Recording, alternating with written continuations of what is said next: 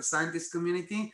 So, and, and we're using a lot of open source in, in our tools. Of course, AWS has the service team that are building products, etc.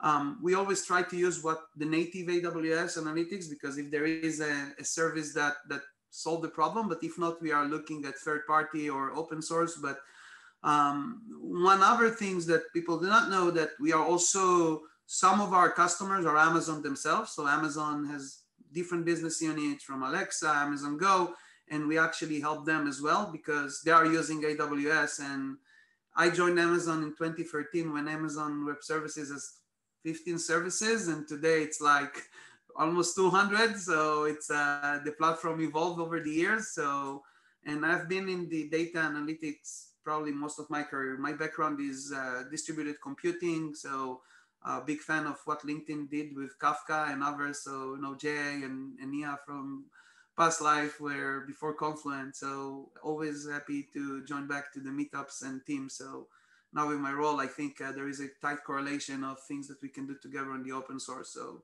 happy to help. And again, I'm not selling any AWS services in here. So just from, from sharing knowledge and, and learn from you as well. So nice to meet you. Cool. Thanks a lot. Thanks a lot. All right, we have Harshal who's come back. So yep. take it away, Harshal. Awesome. Yep. So past couple weeks, I've been working on a new Python ingestion framework for Data Hub. Um, first off is kind of why did we do this? Um, so, you know, the status quo was that people were using the Python ingestion framework that we had previously was really just a set of scripts.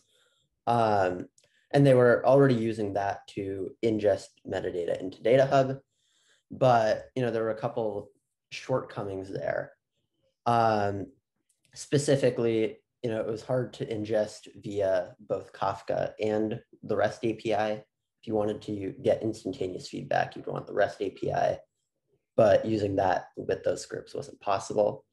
And another thing was that we had these opaque JSON blobs that you would ingest into Data Hub and it was based on Avro, which is a serialization format similar to like Protobuf. The issue is that it's it's pretty difficult to use. And there were a lot of sharp edges. People run into issues, not know what the schema was for the, the um, and, or you know how to format their data. And so we get a lot of questions around what what is even possible with that. Um, and specifically, you know, not having type annotations around that was was something that a lot of people struggled with, um, and they'd run into a bunch of runtime errors when they try to try to execute their code, but they wouldn't actually have any prior warning. And then the other thing was that in order to configure your metadata ingestion, you need to go and modify a bunch of code, which was not the ideal situation. Ideally, you just modify some configuration, uh, and then the code remains the same um, what we found is that people wanted to stick with Python because of the, the ecosystem around it, all of the open source projects, um, you know, things like Airflow and NumPy and, and TensorFlow and so forth. And so they were used to this. They wanted to continue to use it to ingest data into Data Hub. Um, and we wanted a, a principled way to make that happen. So how did we approach this? The first thing was that to solve the problem around the schema for Avro and ingesting data, we, we took the schema from Data Hub and we did code generation to generate a bunch of Python classes that are fully typed and, you know, because it's code gen, always in sync with the Data Hub schema. And this way, you always know exactly what, what is possible, what you can ingest and what you can't. The next thing, we wanted to be able to support writing to Kafka or writing to Data Hub via either Kafka or the REST API. And as I said, it's a trade-off between throughput versus immediate feedback. With Kafka, you write and then you forget. And you know, you don't necessarily know that it was processed correctly until you you receive the, the audit event or the failed metadata event back. Whereas with the REST API, it's a little bit more instantaneous. And so for different use cases, wanted to use different things and we wanted to enable that. Um, we were inspired by Apache Gobblin for the uh, architecture of this, and I'll go into a little bit more detail as to what that means. And the final thing that we we made sure to do when when architecting this was have file-based configuration. So you write configuration in a YAML or a TOML file, and then you know you can just run the Data Hub ingestion framework against that config. Um, this enables easier testing and debuggability, um, but it also enables you to just have more flexibility when you're running the ingest framework. So how did we architect this? As I mentioned, it was inspired by Apache Gobblin. Right now we have two main abstractions. One is the source and the other is the sink. So it syncs, these are the methods that you can take a event of some sort and write it into Data Hub. Uh, and that can happen over Kafka, over REST, or for debugging purposes, you can just dump it to the console or write it to a file. The event that all of these operate on is metadata change event. So this is this is a central concept in Data Hub. Um, every single event or every single change in metadata is modeled as a metadata change event, and you can update, um, you know, basically do all of the operations that you want to do by emitting a number of uh, MCEs or metadata change events. And then finally, we had we had the sources, and these are wide and varied, everything from databases to a file to even like ingesting the metadata of Kafka itself. Um, and as long as the source can create a metadata change event, we were hoping that you know we can just plug it into the rest of this framework and get all the benefits accordingly. So I will talk a little bit more about um, what it actually takes to add a source as well. So, you know, as with all live demos, I'm gonna take a stab at it. Um, but you know, things go wrong in live demos, so bear with me. Um, hopefully you can all still see my screen here. So all of this is in the metadata ingestion directory. Um, the easiest way to install it, we can build the schemas from uh, the rest of Data Hub. And then we have a relatively simple set of commands. You can just copy and paste this into your terminal and get set up immediately. So the first thing that you might want to do is ingest some sample data. Um, and so the way to do that is Data Hub ingest, and then we included a number of examples. So example to Data Hub REST. So let's take a look at what this does before I run it. So this reads from a certain file, which is just a, a sample file that contains a JSON of, of all of the MCEs that we've previously constructed. And it sends them to Data Hub GMS over the REST API. So if we run this, we'll see, oops, that's not supposed to happen. Um, ah, as with all demos, bear with me one sec. Um, I will worry about debugging that after. Theoretically, it will work. Um, so we will we will fix that later. But what what you'll see is you know you'll go to to Data Hub, go your data sets, and we'll see some stuff here. We'll we'll fix the ingest. The other thing that that I did, I uh, I am a used to be a student at Yale, uh, and I ran a course selection tool there with a MySQL database. And so I actually ingested this real world database into Data Hub. This is the configuration.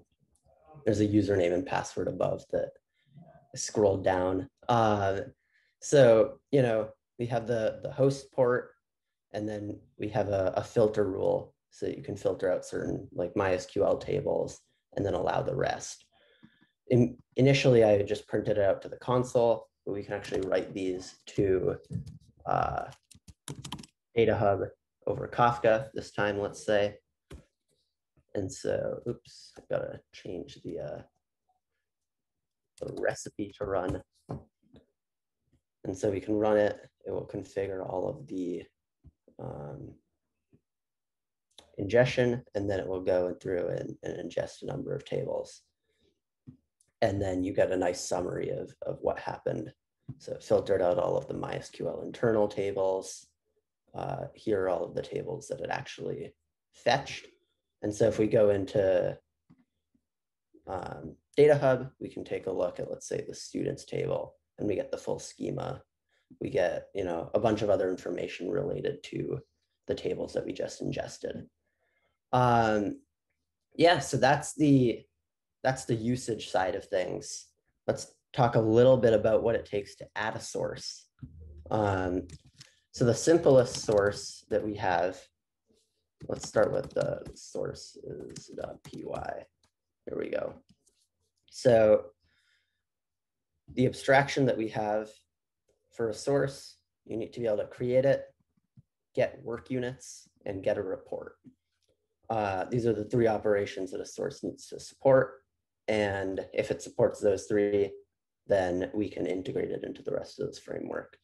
So as an example, here's a very simple source that just reads from a file. As I mentioned, we have like a, a bootstrap MCE file that just has, you know, a number of pieces of sample data.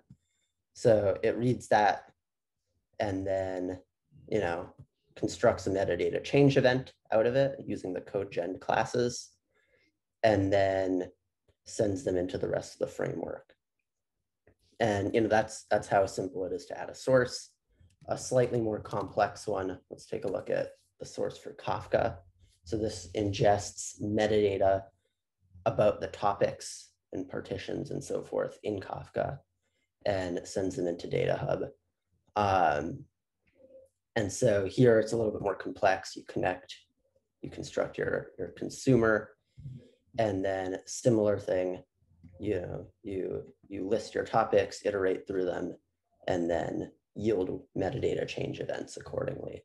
And as long as you can do that, you can construct a metadata change event, um, you know, using things like aspects and snapshots and all of these things that we're, we're relatively familiar with as long as you can do that, then um, you know the source plugs into the rest of the, the framework accordingly. All right.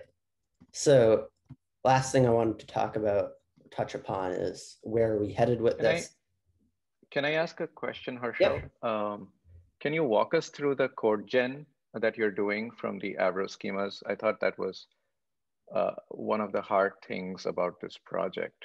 Yep, sure. So um, let's take a look here. So the AVSC file, which is the Avro schema file, looks like a big JSON blob, and it has you know all of the fields and everything accordingly. We have a code gen system um, that you know I, I took from an open source project and and modified and I'm also working to contribute that back. Um, but the CodeGen system basically, let's say this is the ML properties class. Um, so for this, let's let's do like data set snapshot.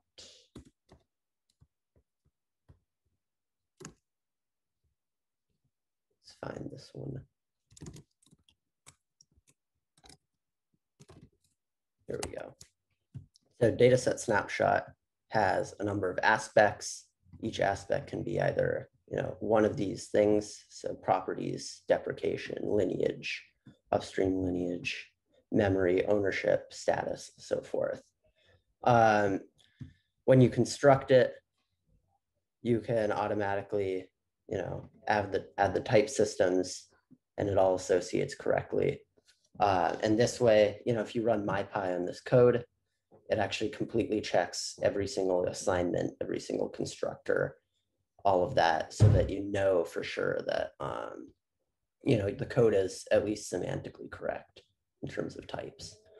Um, so that's that's kind of a little bit on the code gen, um, and obviously it generates a truly massive file of 5,000 lines.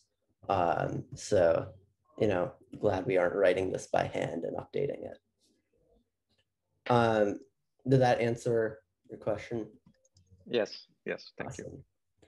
Um, yeah, so let's talk a little bit about where we're headed with, with ingestion. So we're going to do a more formal RFC process on this relatively soon, and then hopefully also publish a package to so that you can pip install, you know, Data Hub or, or something along those lines, and then start executing this. And you don't need to do the code gen yourself and all of those other steps.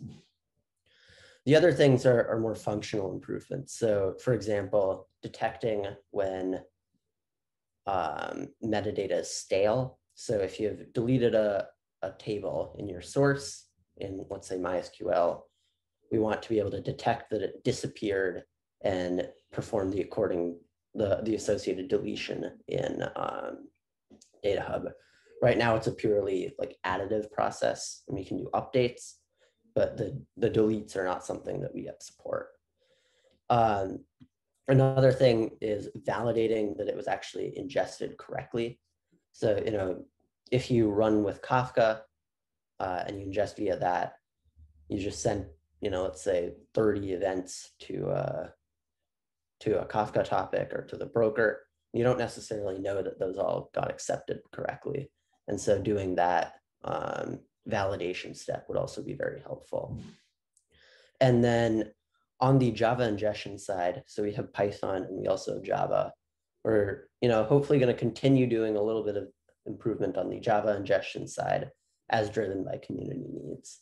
Um, so if people really love the, the Python, or we'll invest more on that. Um, if people still want to be able to use the, the Java, we'll, we'll do that accordingly as well. Um, and then the last thing is standardizing a testing harness between the two so that we can test um, functional parity between the, the Java and the Python. Um, any questions on all of this? I have one, Harshal. Um, I was hoping you could talk a little bit about how someone would productionalize this, say, in Airflow or something. Yeah, sure. Um, so we include um, a couple sample DAGs actually in air in our in our repo so that you can use this directly within Airflow. It's actually quite simple. Let's say for for MySQL, um, you know, you just create a pipeline, give it a configuration, um, and just call run. And um, you know, as long as you can do this within a Python operator of Airflow, you can run this and you'll get all the standard error reporting out of Airflow as you would expect. Um, so it is it is production ready already, um, and and you know you can use it however you like. Um, I think it does make sense to run it within an orchestration framework like Airflow or even cron if if you want something sim- simple, um, so that you can continually get updated metadata from a from a given source instead of just a one-time import. Awesome, thank you. Yeah, this is cool because uh, I know that Data Hub has this uh, positioning almost as push-based, right? And so a lot of people think that, oh, it's push-based, so I cannot pull metadata into this system. Uh, but I think this kind of shows uh, the people like how easy it is to once you have a push-based system, you can always add on a pull-based system upstream of it to essentially, essentially pull metadata into your system. Um, and you don't have to really choose between the two. Yeah, you can you can do both if you want. Um, all right, so I had just very small logistical things to uh, go over very quickly we can take some questions. Thanks, Harshal. Mm -hmm. Are you hosting office hours as well for ingestion? I can if, if that's something people would be interested in. All right, all right. We won't sign you up yet.